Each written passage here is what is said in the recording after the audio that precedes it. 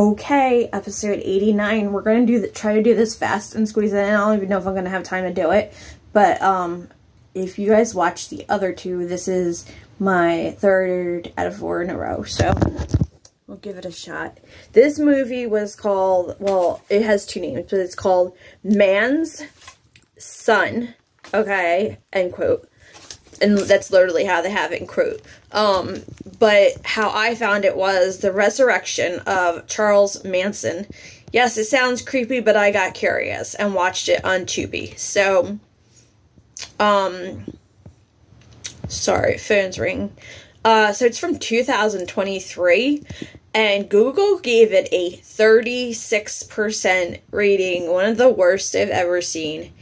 Um, and I don't agree with it, so therefore I'm going to continue on with this. Uh, and luckily I didn't know that until after. So this is about a young couple, and they take a trip to a, and I feel this is important. It's a $70 Airbnb. So it's 2023. I don't know, and the Airbnb is styled to be like 70s, 80s. It's really cool looking. However, um, and it's huge, you know, family room, kitchen, bedroom, bathrooms, whatever. And this is, you know, for break to practice for her audition for a Charles Manson movie, and it's out like in the desert and everything. And uh, so she thinks it's like the perfect place to go. Um, the only thing is, I, I don't know what state this is, but I can tell you right now that you the amount of space they had that's not normal. Like maybe if I went to like Camden or something. But like in New Jersey, you do not get places for I think it was seventy dollars. Um, it's that's not mentioned in the review, but I believe that's what was said in the movie. So anyway, just a little side note. So while they're um there strange things begin to happen and the boyfriend starts to wonder if there's a new cult forming until a twist occurs unlocks secrets of her entire family. Now, um, for those of you that don't know about Charles Manson, although I believe everyone unfortunately does, um, he was the cult leader, I believe in the 60s. Um, it was before my time, but I read a lot about it and watched a lot about it, and so, and I do have actually an interview. I, I did review an interview that I did and gives information on how you can see it. So you can go back to my later episodes if that interests you. Um, to get a better understanding of him. Um, he passed away in jail, but he was a horrible cult leader and famous for the Sharon Tate murders and um, many other murders. But, uh, and Sharon Tate was a, you know, famous actor, so it was so big at the time. And uh, and it was horrible. Horrible what they did. They carved her baby out and everything. So they were horrible things. So to worship him is like very strange. And these people did it with a little O. Um, they would put an O, you know, in the ground, um, on their face. Um, just because he used to do like the same type that, you know, they had the marks on the head that they all did. So, Anyway, they also showed, like, uh, old clips of him, and, uh, I believe there were real old clips of him, and, you know, she was just, she would just watch them all the time. And when I say she, I mean the character, um, Tiana. Tiana? Yeah, that's better. And that's played by, uh, Catherine C. Hughes. And then, more importantly, Mitch.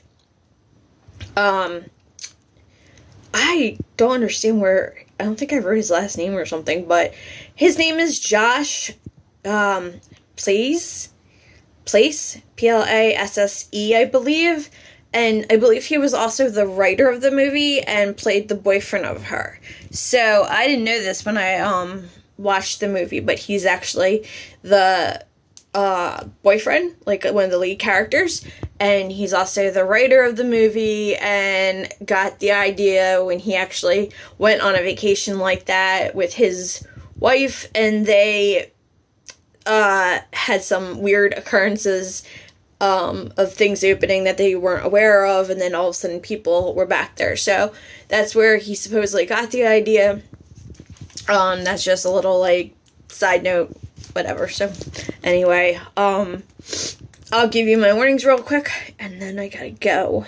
So we'll do dog and cat, no. Bug, no. Um, drug, I don't remember. I I think it was no. I'm not sure if they showed smoking, and I don't know what they were smoking, so that's why I'm undecided about that one. So excessive gore, no. Um, violence and death, yes. Um, clown, no. Vomit, no. Blood, yes. Gross scenes, there was one. Um, okay, spoiler alert. Uh, there was tongue involved. Yeah. The tongue was removed and they showed it after it was removed and then they did show the person who had no longer their tongue and um who it was and the whole story to that, but I don't want to give everything away, so we'll let that go. But yes, one gross scene tongue I felt. Um there's other, you know, horrible scenes, but that was the only one that was really gross. Um so I'm trying to think. Um, hospital, no. Mental institution, no. I don't even know if I already did that. Suicide, no. Shaky cam, no. Abortion, no. Rape, no. Um, sexual content was yes. There was no nudity, but there was um, a scene between the two characters. Um, an actor and actress that I just named. Uh, there was a scene of them in the bed at the B, um, Airbnb. Uh, not real graphic, but enough for you to know what's going on, and they made sure that they showed that their clothes were off, but they didn't actually show any nudity. Um, kind of like your average type scene, I would guess. Um, alright, so I'm giving it, um, three stars. Um, one, two, three. Yeah, three stars. I know. Big difference from, uh, like I said, in my two movies, back to back, were complete opposite from Google. Like, so opposite, and I'm so confused. There was a, a big twist. This is why I gave it a three. There was a big twist. It wasn't bad acting. There was, it was, you know, a bad subject, but there wasn't bad acting.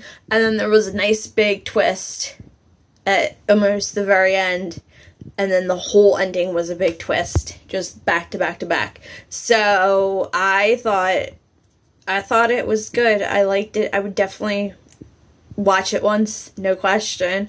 Um so yeah i have one more movie that i watched and already prepared. I don't think i'm gonna get to do it but we'll see uh so go check that one out and again, try it on Tubi. That's the best way to go. Okay, guys? Um, feel free to give me a like.